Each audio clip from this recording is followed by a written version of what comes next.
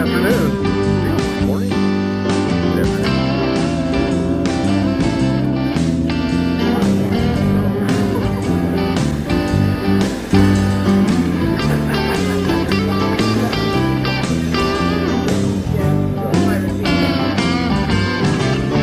Can you guess what color panties I'm wearing under here?